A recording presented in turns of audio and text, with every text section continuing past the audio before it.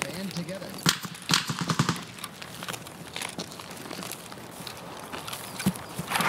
All right, you gotta come up. There's two of them.